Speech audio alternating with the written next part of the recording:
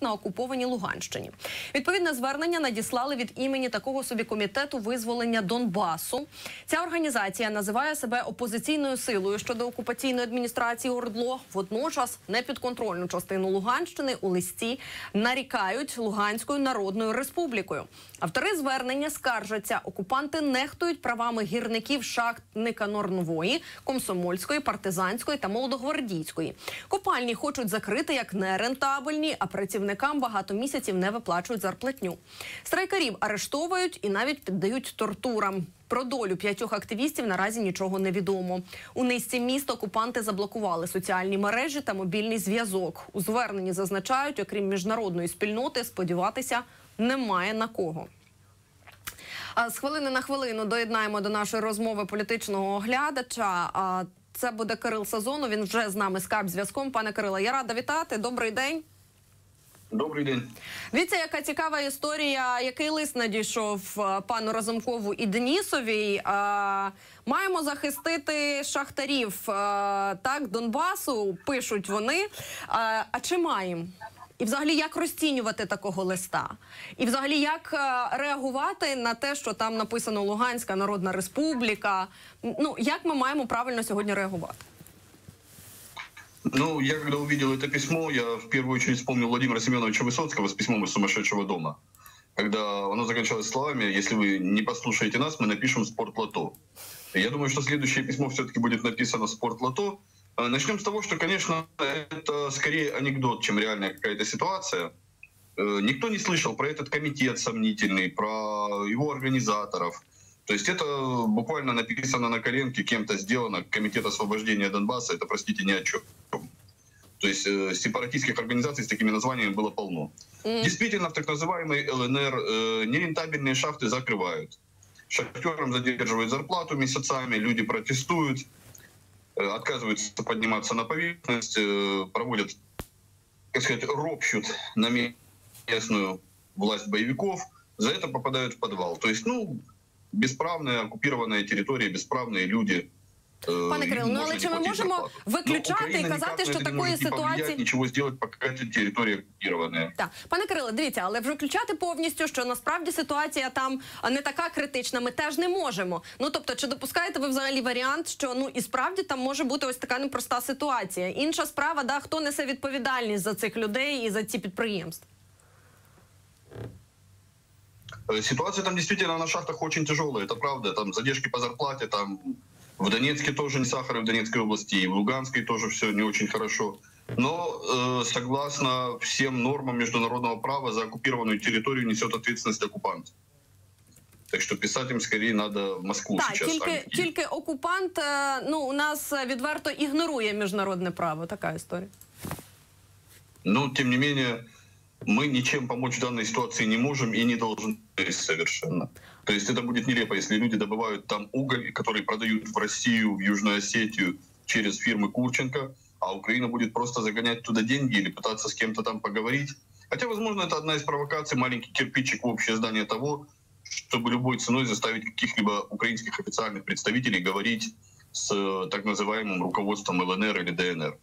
Ну, ось я саме про це й хотіла запитати. Так, чи може це бути ну не просто лист, чи варто тут шукати певні підводні камені? Ну і враховуючи, знаєте, оцю тезу про е, те, що ми маємо всіх повернути, і можливо треба допомогти, і треба відновлювати діалог, і сідати там за стіл перемовин. Ну тобто, це все таки може бути ось така цеглинка.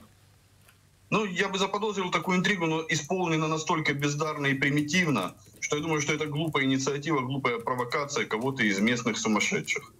То есть э, на серьезные попытки это не тянет. Серьезные попытки это когда нас пытаются в Минске или в нормандском формате убедить вести прямые переговоры с боевиками.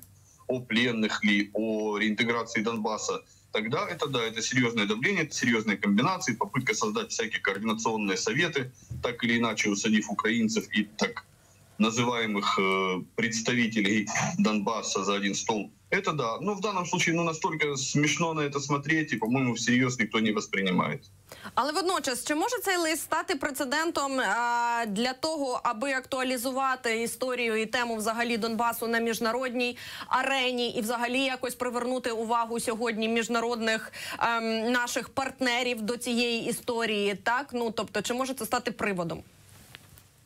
Э, я думаю, что как раз такая стратегия идет, но она идет по другим вариантам сейчас. То есть пытаются привлечь внимание к ситуации на Донбассе с помощью э, статистики по коронавирусу, которая втрое выше, чем на украинской территории Донецкой области, с разговорами о том, что в Крыму не хватает воды людям. То есть актуализация идет по таким темам гуманитарным.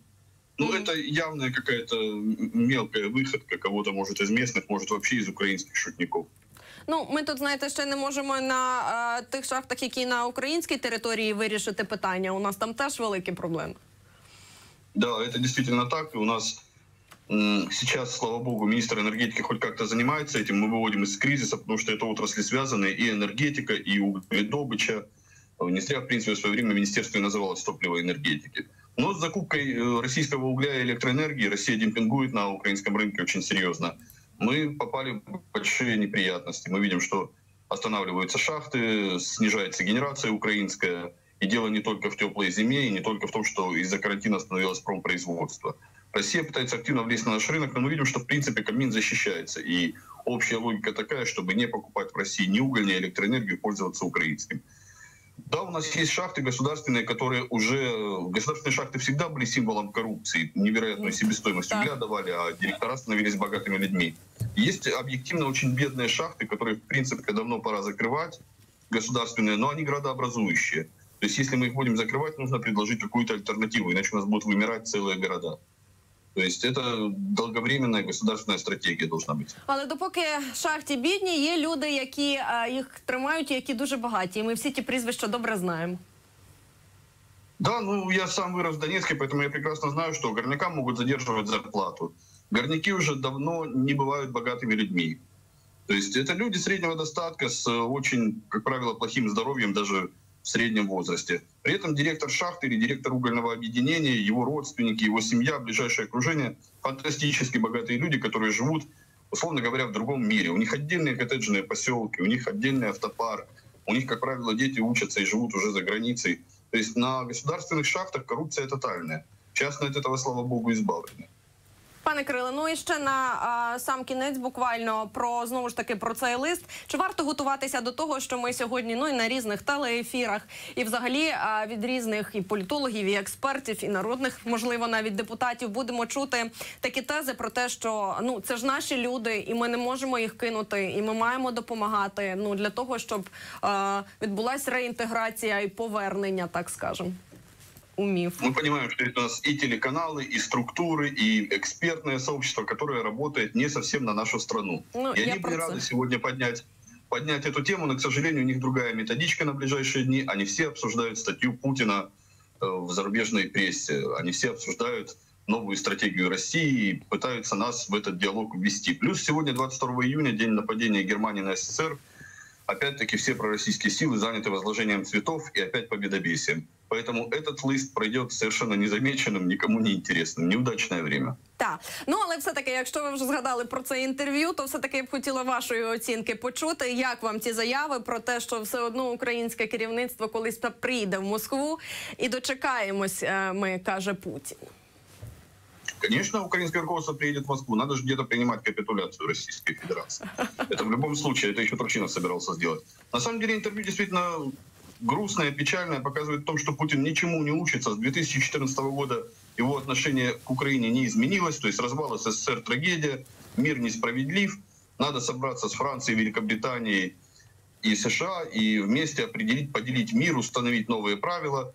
И Россия хочет вернуть свое влияние на те государства, которые принадлежали фактически России в статусе СССР, то есть Украина, страны Балтии, которые он упорно называет Прибалтикой, ненавидит Польшу категорически, обвиняя ее в сговоре с Гитлером, хотя сговор с Гитлером это скорее был Сталин и Молотов.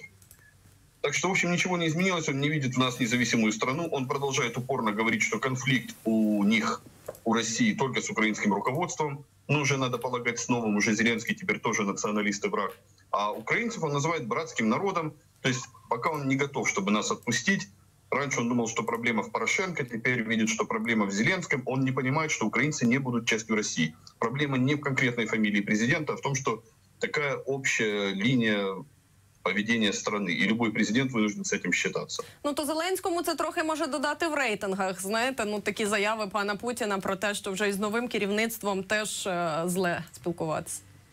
Да, но это на самом деле уже не первое заявление. Мы помним на годовщину избрания Зеленского Кремль прислал письмо на двух листах, где, как говорится, ругательно ругал Зеленского за то, что он отказывается, ну, грубо говоря, отказывается идти на российский сценарий, отказывается вести переговоры с боевиками, фактически отказывается капитулировать. Угу. То есть э, Россия очень разочарована, и они уже видят, что руководство Украины надо, наверное, поменять на кого-то более лояльного. То есть они так и не поняли, что как не меняем руководство Украины, даже если посадить туда лояльного Януковича, то все равно Украина не становится легкой добычей. Януковича мы при случае выгоняем. Они упорно, ну это Россия, они привыкли ментально, что есть царь, как царь сказал, холопы радостно захлопали. И они думают, что достаточно в Украине посадить лояльного президента, и все сразу наладится, и курс поменяется. Они не учатся на собственных ошибках. На сам кінець, скажіть, як надовго очевидно може бути відкладене питання наступної зустрічі в будь-якому форматі, виходячи з того інтерв'ю? Провести встречу в любом формате не вопрос. А Можно договориться в течение недели встретиться. Можно договориться и буквально завтра по видеоконференции Другое Дело, что мы сейчас на ситуации, когда э, говорить толком не о чем. То есть Россия ставит такие условия по ликвидации украинской независимости. Мы на это пойти не готовы, поэтому смысла встречаться особого нет. Жестко свои, по своей позиции, потому что они готовы капитуляции, они не готовы оставить нас в покое. Все. Встречайся, не встречайся, как э, зайчик с белочкой. Детей не будет. Так, пане Кириле, я дякую дуже вам а, за ваші коментарі. А, приємно завжди з вами спілкуватися. Кирило Сазонов, політичний оглядач, був з нами на зв'язку. А, шановні глядачі, хочу вам нагадати, що ви можете долучатися також до нашого етеру, відповідаючи на запитання дня. Сьогодні ми вам пропонуємо таке: чи задоволені ви роботою комунальників у вашому районі чи місті? Якщо так, то дзвоніть, будь ласка, за номером телефону 0800 500 411. Якщо ні, не задоволені, тоді для вас номер телефону 0800